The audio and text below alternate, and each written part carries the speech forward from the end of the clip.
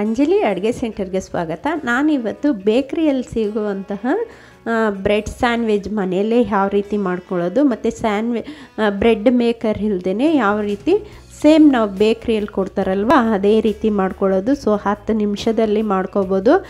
ತರಕಾರಿ ತಿನ್ನಲ್ಲ ಅನ್ನೋ ಮಕ್ಕಳಿಗಂತೂ ತುಂಬಾ ಇಷ್ಟಪಟ್ಟು ತಿಂತಾರೆ. ಸೊ ಹಾಗೆಯೇ ಈ ರೆಸಿಪಿ ಟ್ರೈ ಮಾಡಿ ನಿಮ್ಮ ಫ್ಯಾಮಿಲಿ ಮೆಂಬರ್ಸು, ಫ್ರೆಂಡ್ಸು ಎಲ್ಲರಿಗೂ ಶೇರ್ ಮಾಡ್ಕೊಳ್ಳಿ. ಪ್ಲೀಸ್ ಹಾಗೆ ನನ್ನ ಚಾನಲ್ನ ಸಬ್ಸ್ಕ್ರೈಬ್ ಮಾಡ್ಕೊಳ್ಳಿ, ಫ್ರೆಂಡ್ಸ್. ಆ್ಯಂಡ್ ಸಪೋರ್ಟ್ ಮಾಡಿ ಸೊ ನೋಡ್ತಾ ಇರ್ಬೋದು. ಸೇಮ್ ಬೇಕ್ರಿಯಲ್ಲಿ ಯಾವ ರೀತಿ ಮಾಡ್ತಾರೆ, ಅದೇ ರೀತಿ ಮಾಡ್ಕೋಬೋದು. ಹಾಗೆಯೇ ನಮಗೆ ಇಷ್ಟಪಟ್ಟ ಪಟ್ಟಿರೋಂತಹ ತರಕಾರಿಗಳನ್ನೆಲ್ಲ ಸೇರಿಸ್ಕೊಂಡು ನಾವು ಮಾಡ್ಕೋಬೋದು.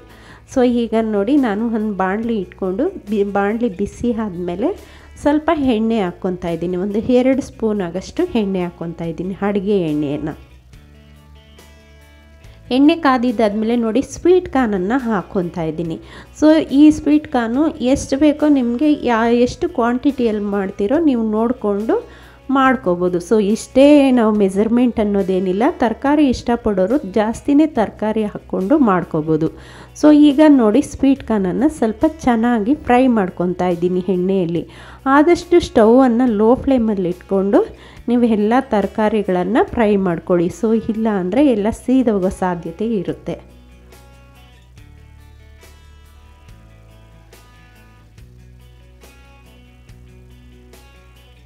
ಸೊ ಈಗ ನೋಡಿ ನಾನು ಒಂದು ಕಪ್ ಆಗಷ್ಟು ಸ್ವೀಟ್ ಕಾರ್ನ್ ತೊಗೊಂಡಿದ್ದೆ.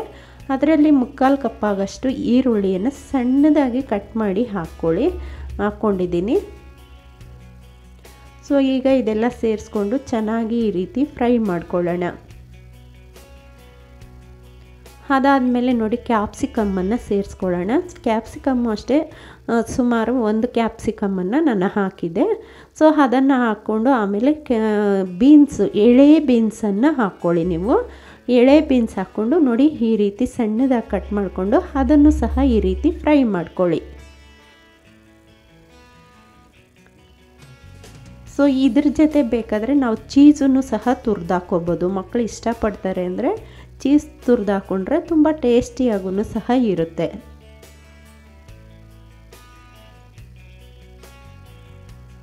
ಸೊ, ಅದಾದಮೇಲೆ ನೋಡಿ ತುರಿದಿರೋ ಅಂತಹ ಕ್ಯಾರೆಟನ್ನು ಸೇರಿಸ್ಕೊಳ್ಳೋಣ.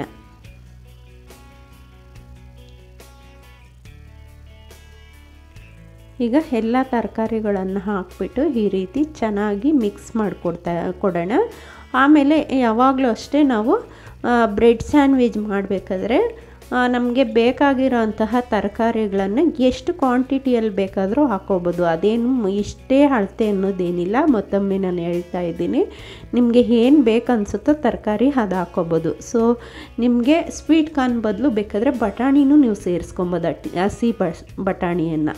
ಸೊ ಈಗ ನೋಡಿ ಖಾರಕ್ಕೆ ನಾನು ಸ್ವಲ್ಪ ಚಿಲ್ಲಿ ಪೌಡರು ಹಾಗೆ ರುಚಿಗೆ ತಕ್ಕಷ್ಟು ಉಪ್ಪನ್ನು ಹಾಕ್ಕೊತಾ ಇದ್ದೀನಿ.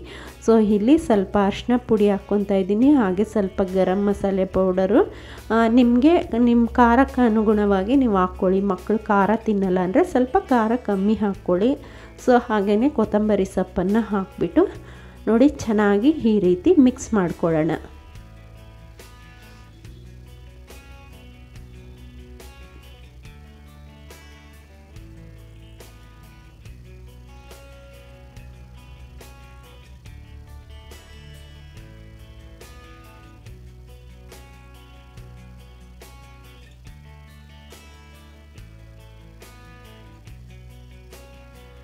ಸೊ ನೋಡಿ, ಈ ರೀತಿ ಚೆನ್ನಾಗಿ ಫ್ರೈ ಆದಮೇಲೆ ಸ್ಟವನ್ನು ಲೋ ಫ್ಲೇಮಲ್ಲಿ ಇಟ್ಬಿಟ್ಟು ಲಿಡ್ ಮುಚ್ಚಿಬಿಟ್ಟು ಒಂದು ಎರಡು ನಿಮಿಷ ಹಾಗೆ ಬೇಯಲಿಕ್ಕೆ ಬಿಟ್ಬಿಡೋಣ. ಸೊ ಬೇಯೋ ಅಷ್ಟರಲ್ಲಿ ನೋಡಿ, ಈಗ ಬ್ರೆಡ್ಡನ್ನು ರೋಸ್ಟ್ ಮಾಡ್ಕೊಳ್ಳೋಣ.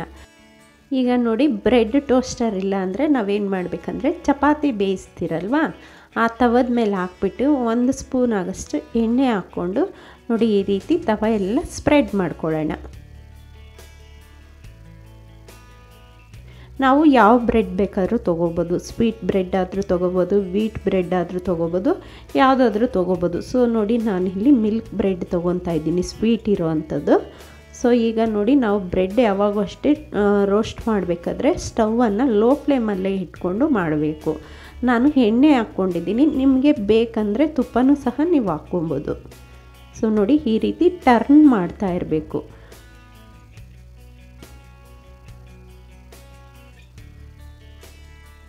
ಟರ್ನ್ ಮಾಡಿದ್ಮೇಲೆ ನೋಡಿ ಈ ರೀತಿ ಸ್ವಲ್ಪ ಎಣ್ಣೆಯನ್ನು ಸ್ಪ್ರೆಡ್ ಮಾಡ್ಕೊಳ್ಳೋಣ. ನಿಮಗೆ ಬೇಕಂದರೆ ನೀವು ತುಪ್ಪನೂ ಸಹ ಈ ಟೈಮಲ್ಲಿ ನೀವು ಸ್ಪ್ರೆಡ್ ಮಾಡ್ಕೋಬೋದು. ಮಕ್ಕಳಿಗೆ ಕೊಡೋದು ತುಂಬ ಆರೋಗ್ಯವಾಗಿರುತ್ತೆ. ತುಪ್ಪನೂ ಸಹ ನೀವು ಹಾಕ್ಕೊಡ್ಬೋದು.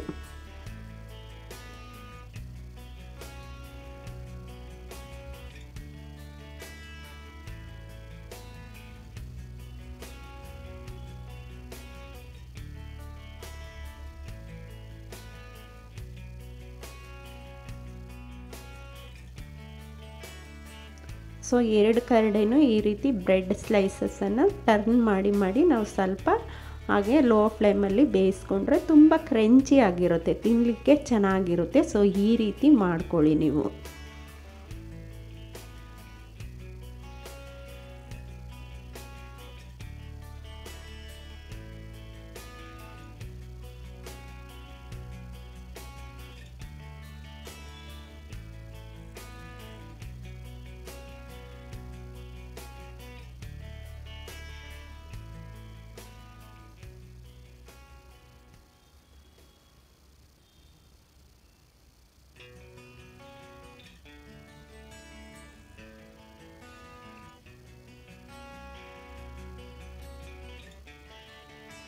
ಸೊ ಈಗ ನೋಡಿ ಈ ರೀತಿ ನಾವು ಬ್ರೆಡ್ಡನ್ನು ರೋಸ್ಟ್ ಮಾಡ್ಕೊಳ್ಳೋಣ.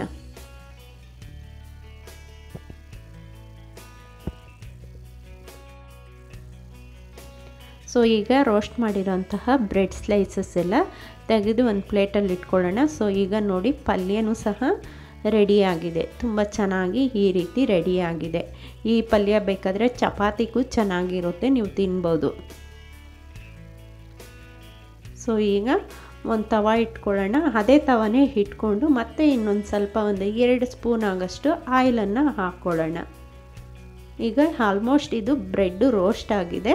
ಸ್ವಲ್ಪ ಪಲ್ಯದ ಜೊತೆ ಇಟ್ಬಿಟ್ಟು ನಾವು ರೋಸ್ಟ್ ಮಾಡಿಕೊಂಡ್ರೆ ಸಾಕಾಗುತ್ತೆ. ನೋಡಿ, ಈಗ ಬ್ರೆಡ್ಡನ್ನು ಇಟ್ಕೊಂಡಿದ್ದೀವಲ್ವ?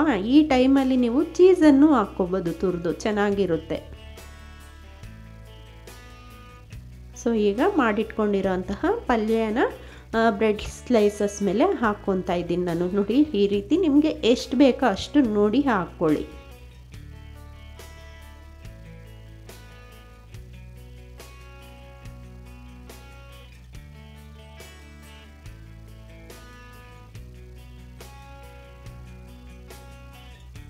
ಸೊ, ಅದರ ಮೇಲೆ ಇನ್ನೊಂದು ಬ್ರೆಡ್ ಸ್ಲೈಸನ್ನು ಇಟ್ಬಿಟ್ಟು ನೋಡಿ ಈ ರೀತಿ ಎರಡರ ಮೇಲೆಯೂ ಎರಡು ಬ್ರೆಡ್ ಸ್ಲೈಸನ್ನು ಇಟ್ಕೊಳ್ಳೋಣ. ಆ ಮಧ್ಯ ಮಧ್ಯ ಸ್ವೀಟ್ ಕಾನ್ ಹಾಕಿರೋದ್ರಿಂದ ಸ್ವೀಟು ತಿಂತಾ ಇದ್ದರೆ ತುಂಬಾ ಚೆನ್ನಾಗಿರುತ್ತೆ ಟೇಸ್ಟಾಗೂ ಇರುತ್ತೆ, ಮತ್ತು ಆರೋಗ್ಯವಾಗೂ ಇರುತ್ತೆ. ನಾವು ಈ ರೀತಿ ಬೆಳಗ್ಗೆ ಟಿಫನ್ಗಳಿಗಂತೂ ತುಂಬ ಚೆನ್ನಾಗಿರುತ್ತೆ. ತಿಂಡಿ ಸ್ಕಿಪ್ ಮಾಡಿಬಿಟ್ಟು ಈ ರೀತಿ ತಿಂದರೂ ಚೆನ್ನಾಗಿರುತ್ತೆ.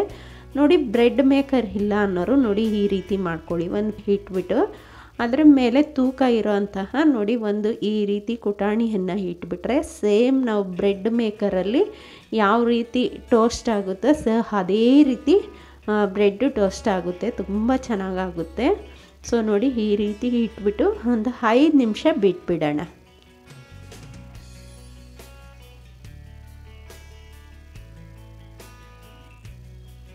ಸೊ ಈಗ ತೆಗೆದು ತೋರಿಸ್ತೀನಿ ಯಾವ ರೀತಿ ಆಗಿದೆ ಅಂತ ನೋಡೋಣ. ನೋಡಿ ಎಷ್ಟು ಚೆನ್ನಾಗಾಗಿದೆ, ಫ್ಲಾಟ್ ಆಗಿಬಿಡುತ್ತೆ. ಅದರಲ್ಲಿರೋವಂತಹ ಬ್ರೆಡ್ಡಲ್ಲಿರೋವಂತಹ ತರಕಾರಿ ಎಲ್ಲ ಆ ಬ್ರೆಡ್ ಜೊತೆ ಚೆನ್ನಾಗಿ ಹೊಂದ್ಕೊಂಡು ತುಂಬ ಚೆನ್ನಾಗಾಗುತ್ತೆ. ಸೊ ಈಗ ತೆಕ್ಕೊಳ್ಳೋಣ ಒಂದು ಪ್ಲೇಟ್ಗೆ.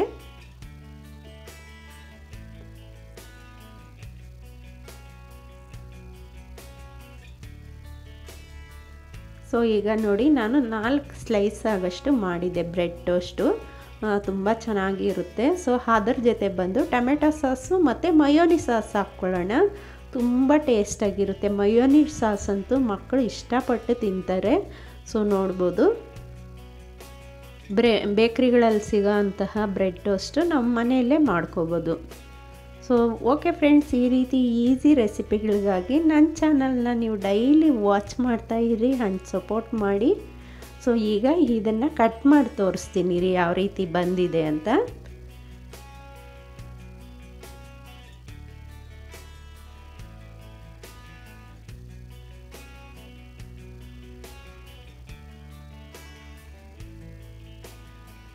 ಸೊ ನೋಡಿದ್ರಲ್ವ, ಎಷ್ಟು ಚೆನ್ನಾಗಿ ಬ್ರೆಡ್ ಬ್ರೆಡ್ ಜೊತೆ ತರಕಾರಿ ಎಲ್ಲ ಹೊಂದ್ಕೊಂಡು ಎಷ್ಟು ಚೆನ್ನಾಗಿ ಫ್ರೈ ಆಗಿದೆ ಒಳಗಡೆ ಅಂತ.